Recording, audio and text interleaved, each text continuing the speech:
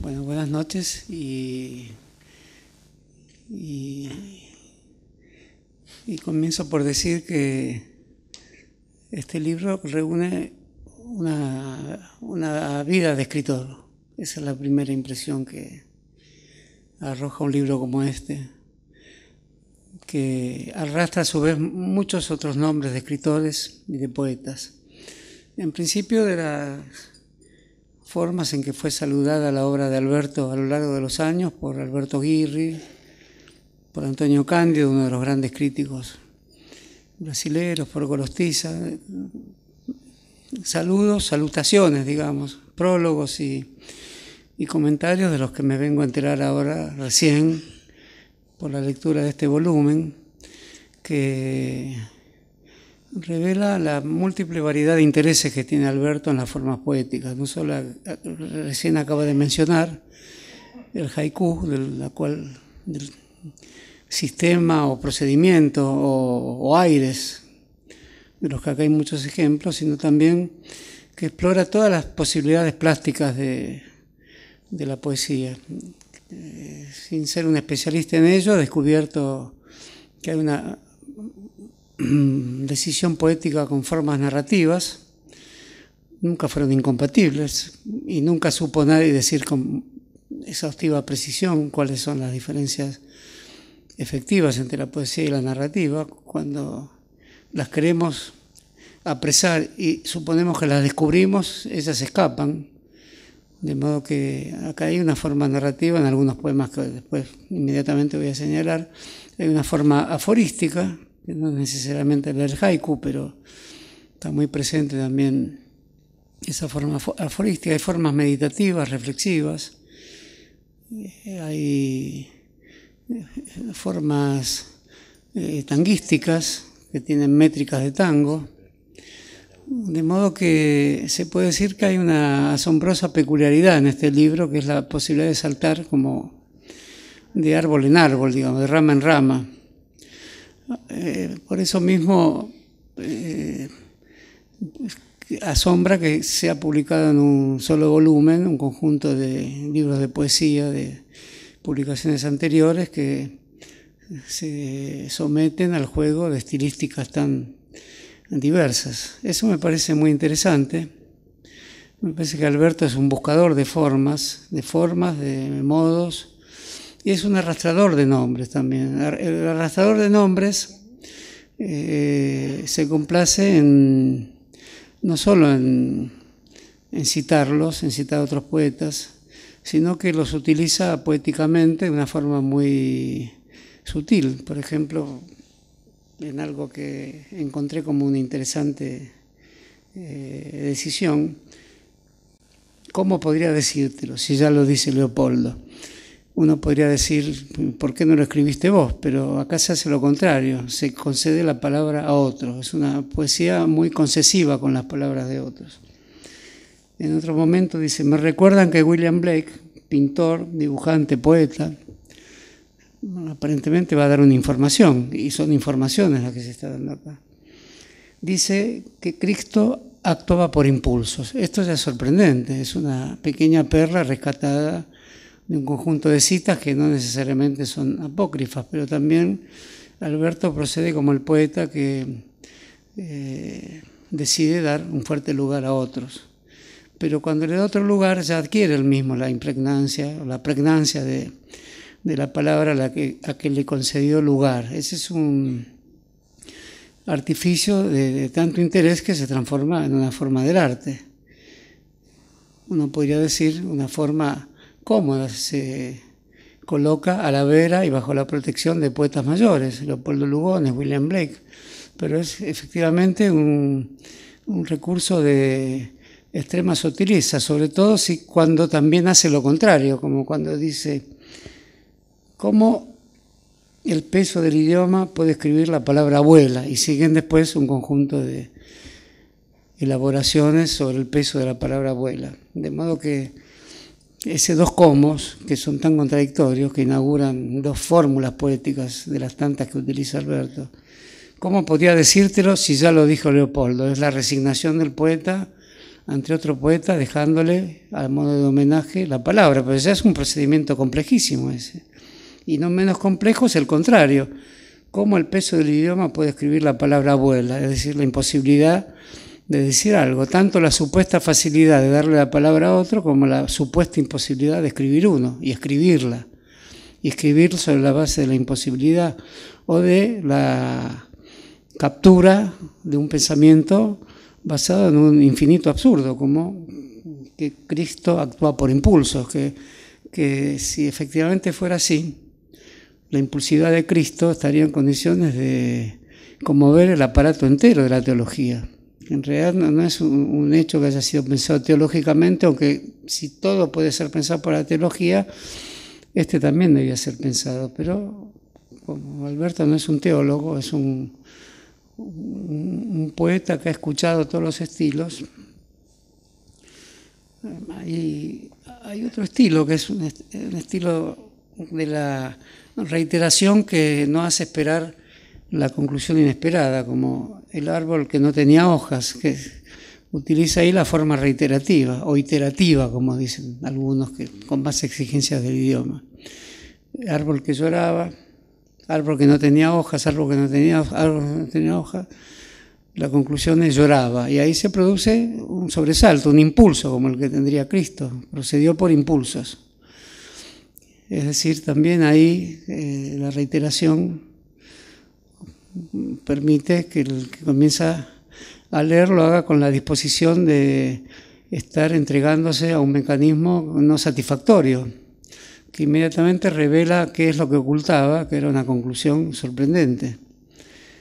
El árbol que lloraba, es decir, algo que parecía parte de una mecánica insípida de la naturaleza, finalmente termina humanizándola.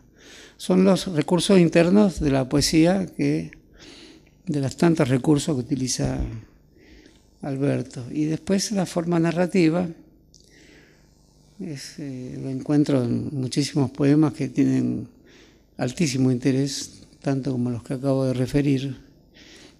Por ejemplo, La Tejedora de México es una larga reflexión que también tiene ese mecanismo de la sorpresa, de la, de la increpación final o de el supuesto Cristo que en vez de sufrir tiene impulsos digamos, el sufrimiento de Cristo sería una continuidad, siempre está sufriendo. Si tiene impulsos, hay otra forma de vida, hay otra forma de pensar su existencia por parte de Cristo. Ese es, un, es, eso que Alberto le atribuye a William Blake, es peculiaridad de su poesía también. En La Tejedora de México hay una descripción. Se describen historias, podrían ser cuentos, novelas, son historias que tienen fuertes anécdotas y fuertes cargas de imágenes. Una de las últimas, de las varias secciones que tiene esta larga poesía, eh, es que todo el, clima que crea Alberto es de despojamiento, soledad, etnicidad, campesinidad, eh, soledad. Eh, artesanía, y sin embargo ve en su muñeca un reloj digital, una sorpresa, otro impulso, otro impulso, yo diría no teológico, pero que acerca esta poesía al, hecho de que se quiere descubrir de una forma ni provocativa ni ostentosa el, vacío de la existencia, no de la tejedora mexicana, sino de la, la existencia vacía de la que podemos dar gala dar testimonio y dar fe que tenemos cualquiera de nosotros.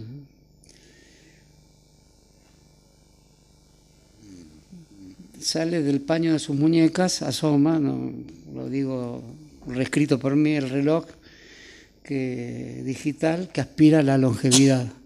¿Cuál sería la, la longevidad de un reloj digital? Una longevidad falsa totalmente contrapuesta a la longevidad de las herencias artesanales. Bueno, eso es una historia que cuenta Alberto, pero ¿dónde está lo poético de la historia? Lo poético de la historia está en el manejo de ese tiempo sorprendente con el cual el, hilado del poema, remedando el hilado de la tejedora, termina en algo inesperado, en algo sarcástico, en una, en una mueca dolorida, digamos así. Y después las construcciones lingüísticas de la poesía, de, porque eh, Alberto va de la extrema simplicidad de la lengua a construcciones muy elaboradas que tienen el crujido interno de toda clase de recursos metafóricos, como pongo y, y, algunas palabras que solicita a menudo, como alcanfor, no es una palabra habitual, una palabra de origen árabe. Y Alberto la rodea con mucho cariño y mucho sabor amoroso a todas esas palabras. En la tejedora de muñecas actúa entre el sagrado alcanfor y el regocijo sangriento de las comuniones. Por supuesto no es un poeta teológico, no hay una teología maldita en Alberto, pero como le gusta el tango, escribe milongas y hay una cierta influencia de Mansi y de Disciplín, hay también eh, un cierto resabio de la teología maldita del tango, lo que escribe. Quizás no se lo haya propuesto y que lo diga así puede también resultar parte de lo sorprendente que resultan estos poemas. Y por último quiero llamar la atención de los tantos poemas que sería muy largo comentar porque es un libro lleno de posibilidades para el comentarista.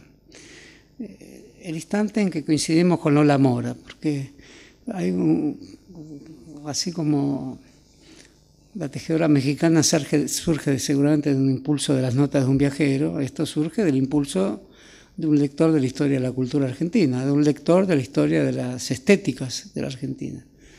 Pero aquí también se cuenta una historia que es una conversación con otra persona que le pide fotos de Lola Mora. Esto puede ser materia de una poesía, puesto que todo puede ser material poético. Alberto convierte en material poético sumamente... Eh, aparece nuevamente el frío. Acá el alcanfor está frío, en el otro lugar el alcanfor está sagrado. Eh, Alberto tiene momentos de reiteración y la sorpresa de quebrar esa reiteración con algo inesperado. Sí me puedo dar el, gusto o el placer de juzgar de ese modo una poética de muchos años de elaboración, de una carrera, si hay carreras de algo. De lo menos que hay es de la poesía, pero digamos así, una acumulación de hechos poéticos en la vida de una persona. Bueno, es muy difícil decirlo en tres palabras, pero intento agruparlas rápidamente ahora.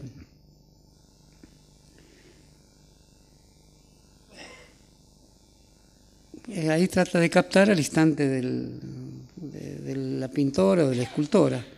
Y el instante es un instante también mágico, no lo dice así Alberto, pero en la conversación con alguien que le pide fotos, son dos o tres fotos muy conocidas de Lola Mora, y también la visita a las esculturas de Lola Mora y a la fuente de Lola Mora, Ahí aparece la idea del instante, que es un instante de comunión, no sagrado, diría, porque Alberto no es un poeta de lo sagrado, pero hay una cierta sacralidad escondida en lo que dice, como la hay en el tango y en casi todas las cosas que decimos a diario, sin que lo sepamos. Pero creo que Alberto lo sabe y ahí ese instante de comunión con Lola Mora tiene una larga narratividad también, por eso digo que apela a fórmulas sucintas, breves, algunas muy breves, otras la fórmula de convocar al otro y decir cómo voy a hablar yo si ya hablo el otro, la otra decir cómo se puede hablar y hacerse cargo él de que hay que preguntarse cómo es que estamos hablando, qué es esto de estar hablando.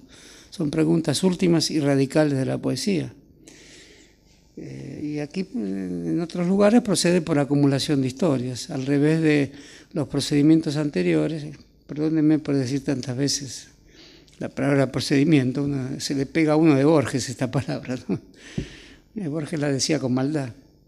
Este, en unos lugares procede por dispersión, en otros por acumulación, como, el de Lola Mora, sus cabellos azules que los murciélagos han convertido en herrumbre y viento. Bueno, aquí actúa el poeta maduro de sus instrumentos poéticos, y en otros lugares actúa más vacilante. Aquí actúa, muy pleno, son construcciones muy plenas, de rumbre y viento, que se contradicen, una cosa es el rumbre, otra cosa es el viento. Poner junto dos palabras que implican una contradicción radical, y en los, cabellos azules, que en los murciélagos, acá hay una acumulación de, del mensaje poético a través de palabras contrastantes. En otros lugares hay un despojamiento total. Por eso digo que Alberto nos entrega con este libro, un libro eh, lleno de, aspectos diferenciadores de su misma poesía, testimonio y, y basamento de una exploración infinita. Es un libro de poesías que involucra una fortísima movilización de un esfuerzo poético y, lírico, aunque no es un poeta exactamente lírico también, pero hay una lírica escondida en todo lo que hace, por explorar todas las formas conocidas, con una avidez eh, absolutamente infrecuente. Bueno, yo también lo digo esto fuertemente complacido porque cuando uno le dan a presentar un libro, desea que sea un muy buen libro y los deseos que tenía sobre este libro se han cumplido plenamente. Así que le doy las gracias a Alberto por complacer los deseos ocultos de sus amigos. Bueno, muchas, gracias. Muchas gracias a vos. Bueno, adelante, doctora Graciela Maturo. Bueno.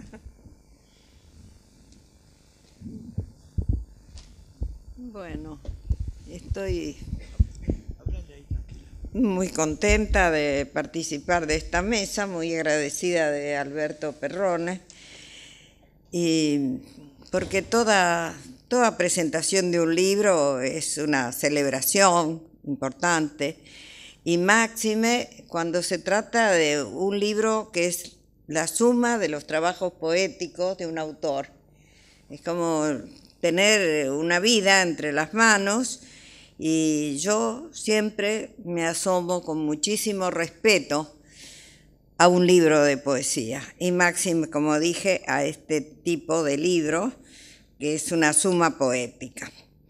Y, tuve un fruto muy lindo, porque empecé a interiorizarme de que esta frecuentación, de esta estética, que como digo, la conozco, la valoro, pero tengo el prejuicio de que muchos la toman como una moda superficial, es una estética un poco dura, un poco provocativa, una estética que no va hacia los halagos de la musicalidad, del verso, de lo que llamamos verso, sino que está escrita con ese rigor de una prosa Alguien me saluda, pero no alcanzo a ver quién es. Es el prologuista. No. Ah, bueno, bueno. Este, entonces digo que es una prosa aparentemente desligada del, del ritmo, de la rima, de todos los elementos del verso, propios del verso, ¿no? Y al mismo tiempo, bueno, hay eh, dos vías que cultiva. Había prometido leer, pero quiero resumir. Este, dos vías que cultiva Alberto. Una es la narrativa, de la cual habló Horacio, la narrativa, y la otra una vía dramática, digamos. Vos, no sé si tenés obras de teatro, pero este, hay un filón muy de personajes que hablan, ¿no? Es el filón oral. Y a mí me parece que esa vía es eh, la que da los, los frutos más altos de tu poesía, desde mi punto de vista de lector. Bueno, no, no, no voy a comentar aquí muchos poemas, pero sí voy a decir algo de por qué esta aparente prosa adquiere calidad de poética. Yo creo que maneja dos elementos que son muy importantes para la poesía, que son el sentir y el humor. No digo sentimiento, porque ya es una especie de cliché cristalizado, no dice mucho, pero el sentir, la cuerda del sentir. En, esto, en estos poemas, aparentemente en prosa, ese sentir galvaniza la prosa, la vuelve poética, la intensifica de tal manera que verdaderamente ocupa el lugar de la poesía. Doy como ejemplo, y podría haberlo leído, no sé, el poema Hola Madre, donde se habla de una madre de 90 años que no me son lejanos a mí, y a lo mejor por eso me conmovió mucho. Bueno, es un poema bello y conmovedor. ¿Ya a qué llamo belleza?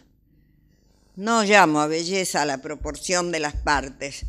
Hablo de belleza cuando se expresa y se induce en el lector a la vez un estado que es de comprensión del mundo y de sí mismo muy profundo y una especie de alteración de la conciencia.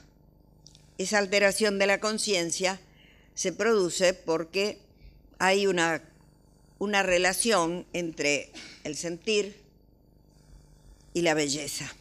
El sentir, la intensificación del sentir, produce el acto de belleza, que es un acto porque ocurre entre subjetividades, la del autor y la del lector. O sea que no es algo que está allí objetivamente, digamos, sino que se da en el encuentro de las subjetividades. Ahí está mi diferencia con la teoría de Jacobson y con, también con la escolástica, ¿no? Bueno, em, entonces, uno de ellos, uno de estos elementos es el sentir. El otro elemento es el humor. Aquí me estoy acordando de Macedonio Fernández que decía, hablando de, de la necesidad del escritor de desestabilizar el pensar racional, que es lo que hace el poeta genuino. Entonces, ¿cómo se desestabiliza ese pensamiento racional que bloquea nuestra visión de la realidad? A través del sentir y a través del humor. En realidad, Macedonio hablaba de la poética y la humorística. La poética que se maneja en gran medida con la emoción y la humorística que produce la risa, que a la vez el fenómeno de la risa también tiene cierta contaminación emocional. El humor es fruto de la inteligencia y la emoción mezcladas. Y es un, gran desestabilizador.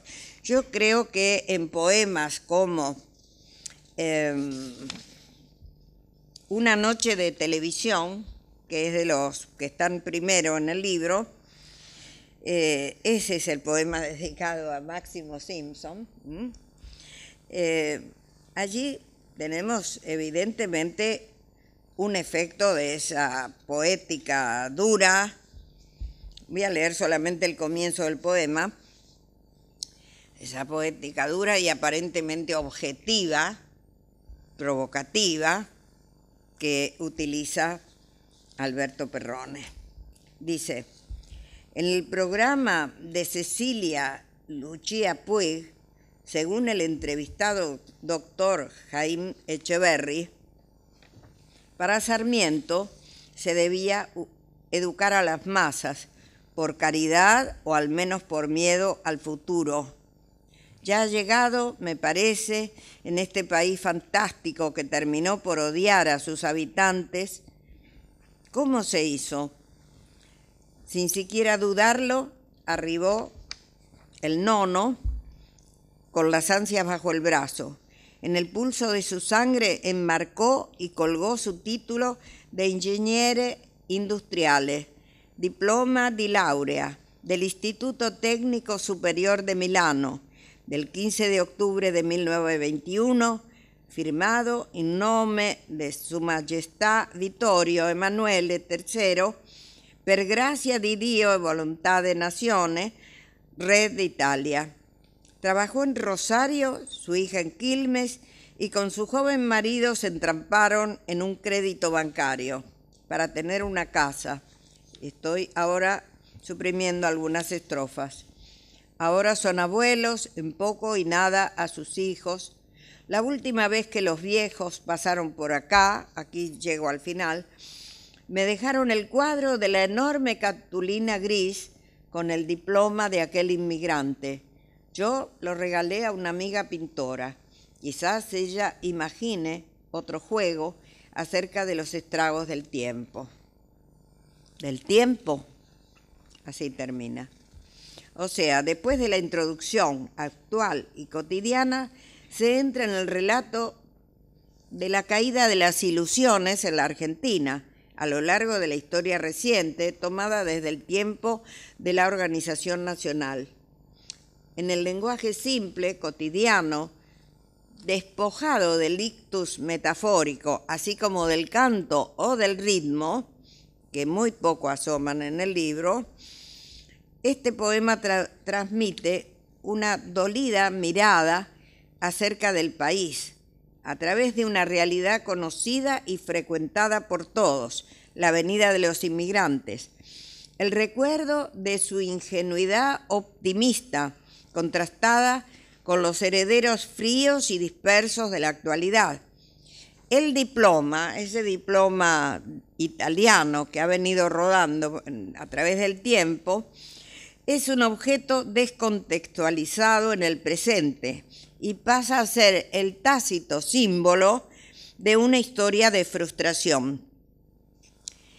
El autor se vale de la elipsis, la objetividad de una crónica, la ironía, donde el sentir está absolutamente reprimido, pero está, se dibuja un friso histórico de la Argentina con apelación a lugares comunes que son revertidos o cuestionados, como al final los estragos del tiempo, que da lugar a un interrogante.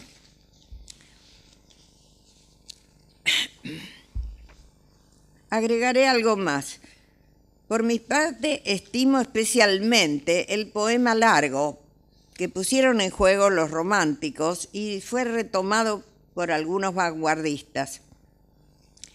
Es el poema que no se agota en la intensidad del instante, como es propio de la poesía lírica, sino que se presta a desplegar un pensamiento o a mostrar épicamente cierto devenir en el tiempo.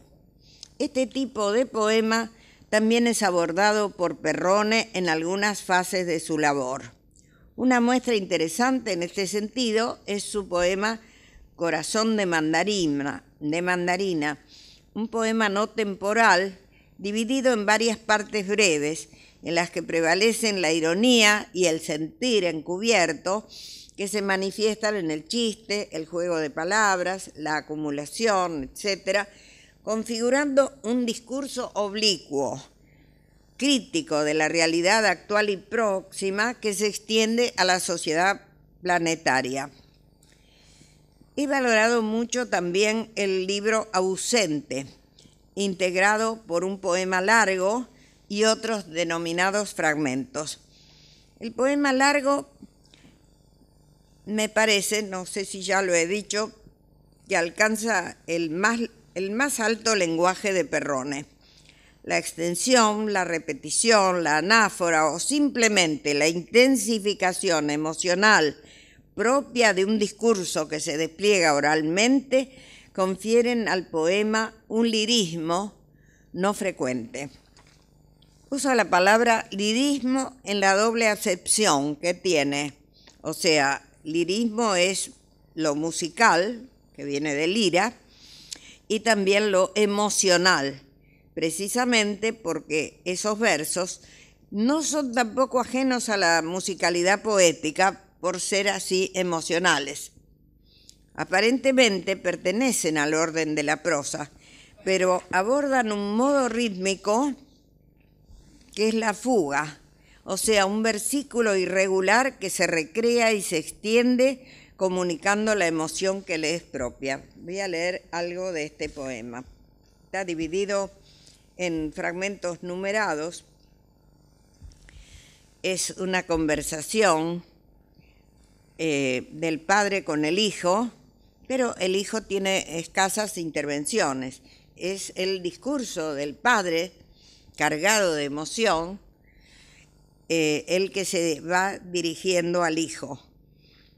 Como si pudieras venir con nosotros, como si pudieras abrazarme siempre, como si no necesitaras una confirmación en el otro, tu lector, ese padre interlocutor al que le hablas, al que le has musitado, confío en vos. Y cada arte busca liberarse a sí mismo, como de la baba del voceo, y si lo logra es padre e hijo del intersticio, realizado contra la tosuda razón y esgrimas de amores en su eternidad de pena incesante. Leo solamente ese fragmento, pero la totalidad del poema me ha gustado mucho, me ha interesado mucho. Ustedes ven que eh, esta aparente prosa tiene un ritmo de fuga.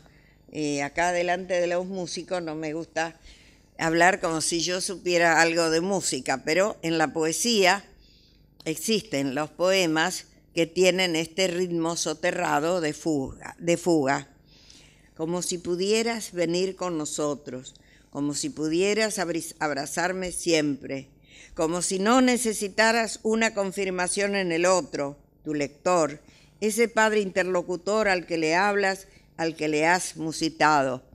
Confío en vos. Es decir, soy muy sensible al ritmo en poesía y encuentro que el ritmo y todos los atributos de la poesía aparecen solos cuando crece la emoción. Esto lo hablábamos con mi queridísimo amigo Joaquín Januzzi, un maestro de esta estética dura, esta estética de la objetividad, ¿no? En que son maestros también los ingleses y norteamericanos, etc. Es decir, le mostraba a Joaquín, por ejemplo, en sus versos, donde aparecía un endecasílabo, y yo lo tenía marcado, ¿no? Aparecía el endecasílabo en los momentos de mayor emocionalidad. No era buscado por él, no era medido el verso, pero acompañaba al, al, al aumento de la intensidad emocional, lo acompañaba el retorno al verso, a la musicalidad. O sea, no es un chaleco formal este, colocado al poema, sino que el poema va buscando esas formas que han sido las formas tradicionales de la poesía, las va recobrando cuando el poeta se deja llevar por la emoción. Pero de todas maneras, esa emoción, ya lo he dicho, está en los poemas aparentemente más contenidos. Bien, el despojamiento de los textos de Alberto Perrone lo emparenta también con ciertos textos de Vallejo, textos objetivos de impasible y cortante elocución que encierran y transmiten una inusual intensidad. Esa, emocional, esa emocionalidad reprimida comunica una secreta aspiración al orden, al bien, a la armonía, dando cuenta de contextos adversos, pérdidas, frustraciones. He llegado a la conclusión de que Perrone es un elegíaco encubierto que adopta modos conversacionales o el descarnado estilo del cronista para dar cuenta críticamente de la civilización descartable del desorden anómico de la época en que le ha tocado vivir. En fin, reconociendo nuestra diversa formación y el alcance de recorridos intelectuales que guardan distancia, aunque no distancia insalvable, me he abocado con respeto a la obra reunida de Alberto Perrone, hallando en ella aspectos muy interesantes, lenguajes que no me son del todo ajenos, valores que justifican el aprecio en que lo han tenido otros lectores, críticos y jurados. Así que, como resumen de todo eso, te doy las gracias por invitarme a presentar tu libro. Bueno, buenas tardes. Es un placer enorme compartir esta poesía y esta música en breves minutos con, este poema que he tomado de Alberto. Voy a comenzar primero con un tango de un compositor intuitivo de esa primera época del tango, donde, donde eran los pianistas, sobre todo, los que amenizaban las casas de baile. Y este es Rosendo Mendizábal, que así como este poeta, estos grandes intuitivos del tango, con las hojas así en blanco, sin escribir música, sin saber escribir, dejaban bellísimas composiciones que han dado a la historia del tango. El entrerriano de Rosendo Mendizábal.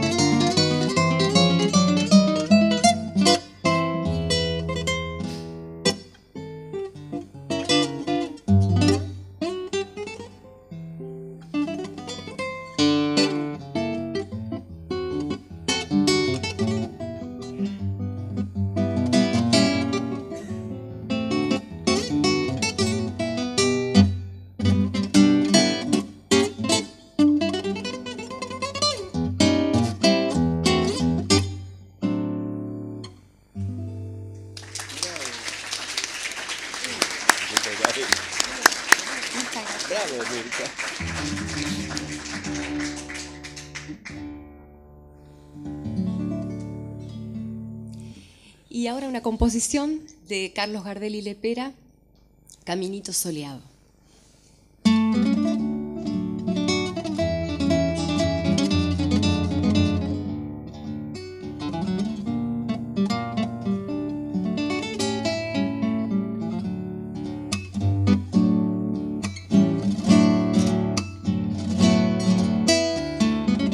Claro, caminito criollo florido y soleado,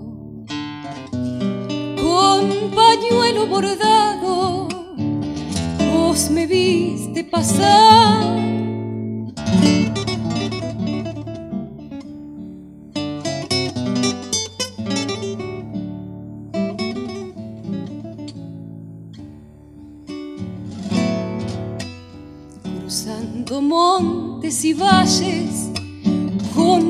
Venía mi pobre carreta, con su carga de esperanza las ruedas hacían al viento gambetas. Y cuando ya atravesaba la hondura del vado de lenta corriente, una congoja naciente detuvo su impulso, parando su andar aquel arroyito a veces tus ojos se saben mirar.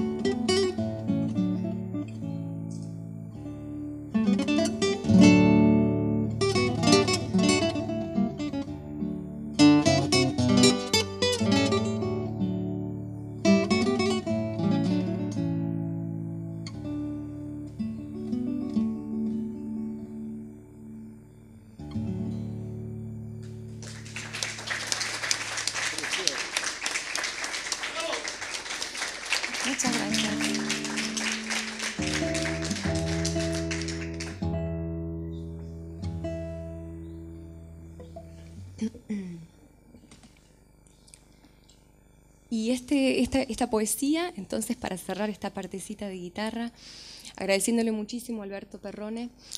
Este tango es un tango milonga, más, más milonga que tango. Tango del anillo al dedo se llama este poema. Y lo compartimos con esta música.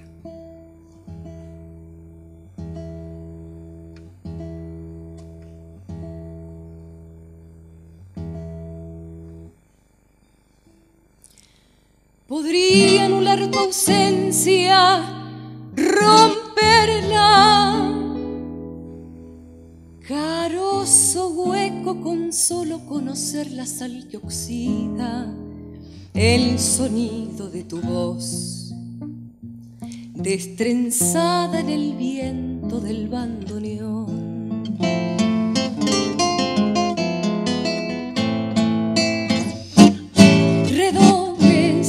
Puerta abierta ante cada paso con el pie inicial de tu pierna y todo por anular tu ausencia.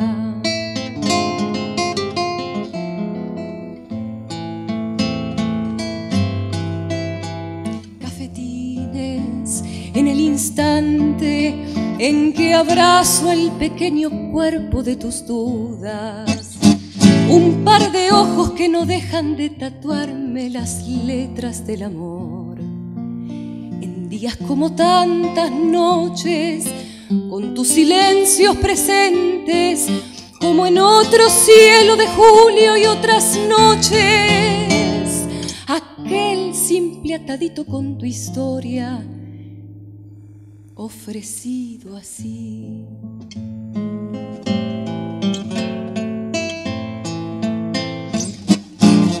Al retomarla tu vida, mi vida y a la salida la continuamos entre tus dedos y mi boca de mujer amada.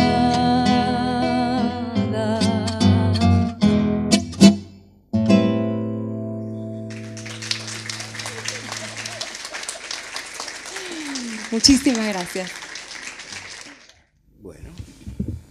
Vamos a hacer ahora eh, lo que tenemos preparado para cuando vayamos a televisión, o con Roque o con Mirta. Son dos haikus, eh, escritos por el maestro compositor Roque de Pedro y el oriental Perrone. Primer haiku. A mi poeta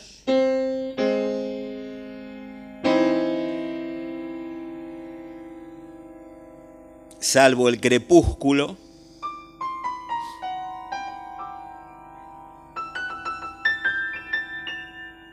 nadie lo toca.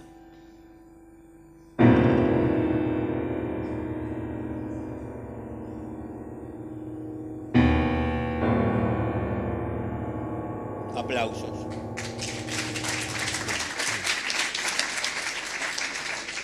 Vamos con el segundo y último haiku. Los autores son el oriental Perrone y el compositor Roque de Pedro. Llegó la noche.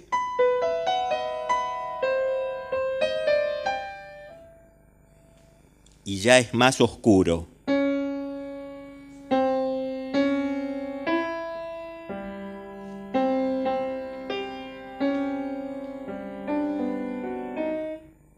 Este silencio.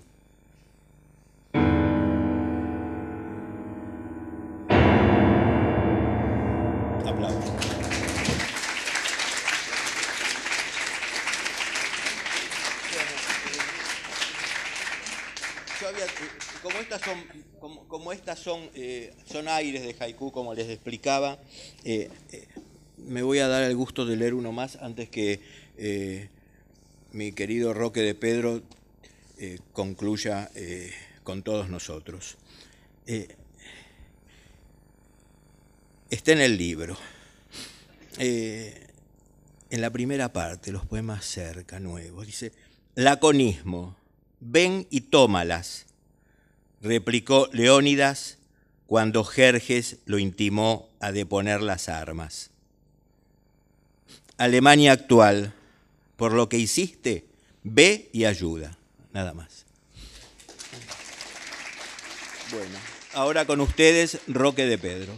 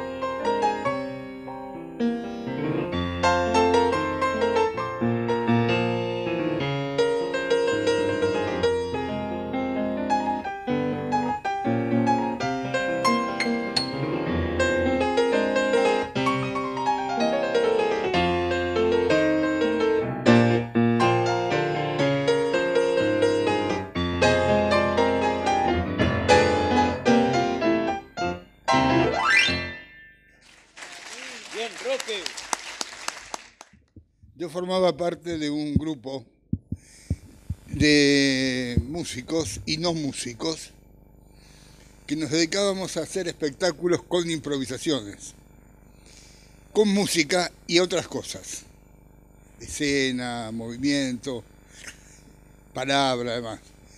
Se llamaba Movimiento Música Más. Y hacíamos conciertos en salas, en teatros, en la calle, en los colectivos, en donde fuera. Cuando lo hacíamos en funciones de teatro, una vez hicimos un ciclo bastante largo en un teatro de, la zona más o menos céntrica. Eh, después de hacer una cantidad de, de irrespetuosidades muy respetuosas, musical y escénicamente, me dejaba a mí solo en el escenario y yo me tocaba un tema. Un tema que tenía mucho sentido para nosotros. Todo lo que habíamos hecho antes no eran, no eran temas conocidos ni nada por el estilo, eran cosas nuestras, muchas veces improvisadas en el momento. Pero este era un tema conocido y que tenía mucho sentido para nosotros. Y cuando terminaba, yo salía caminando y había un agujero así en el escenario, una trampa, y yo bajaba por ahí, desaparecía y ahí terminaba la obra, va, el trabajo del día. Ese tema, yo acá no voy a salir por ahí abajo, porque no, no tuve tiempo de hacer el agujerito. Pero este, voy a tocar ese tema que además era muy querido por nosotros, por lo que había de sentimiento, hoy acá estuvieron hablando de sentimiento hoy, con respecto a la poesía de Perrone. Eh, en, este, en, este, en este tango hay un sentimiento muy particular y bueno, este, a lo mejor alguien de los que están acá entiende algo más del mensaje que va a tener esto. Muchas gracias.